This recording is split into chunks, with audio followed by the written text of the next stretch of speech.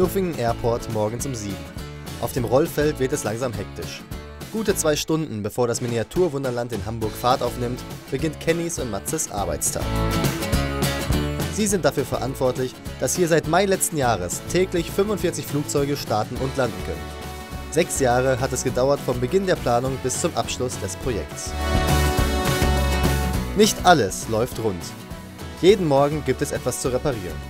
Seit Jahren arbeiten die Techniker auf dem 125 Quadratmeter großen Flughafengelände. Das ist immer wieder spannend, weil der Ablauf ist alleine immer wieder anders. Jeder Flugplan oder, oder jede Maschine kommt immer wieder anders und wir haben ja auch verschiedene Start- und Landewinkel für jede einzelne Maschine. Somit sieht es eigentlich immer wieder anders aus.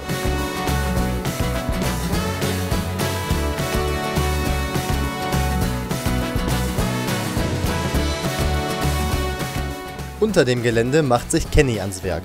Bei insgesamt 40.000 Lichtern und 1.000 Kilometern eingebauter Kabel ist hier Feinarbeit gefragt.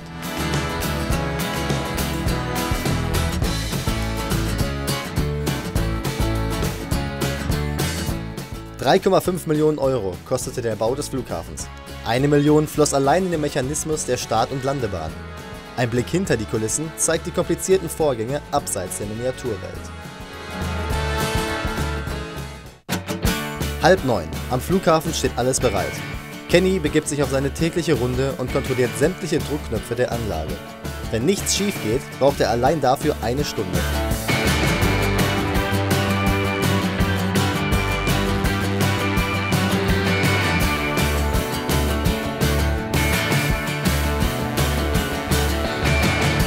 Für die Angestellten ist das Miniaturwunderland mehr als nur ein Arbeitsplatz.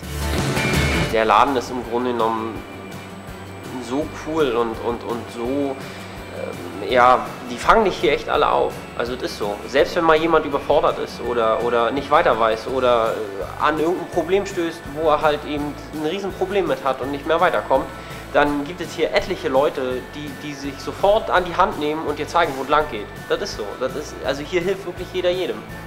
Ein Wunderland auf allen Ebenen. Selbst Kenny gerät immer noch ins Träumen.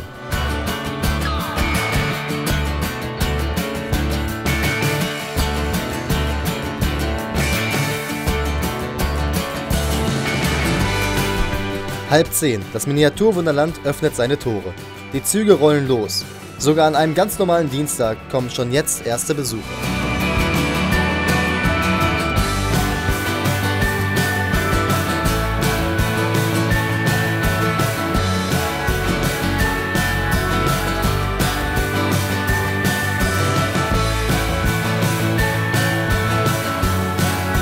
Alles funktioniert. Auch der Flughafen nimmt seinen regulären Betrieb auf. Kennys und Matzes Vorbereitungen haben sich gelohnt. Alles ist hergerichtet, alles läuft reibungslos. In Knuffingen wird der Traum vom Fliegen wahr.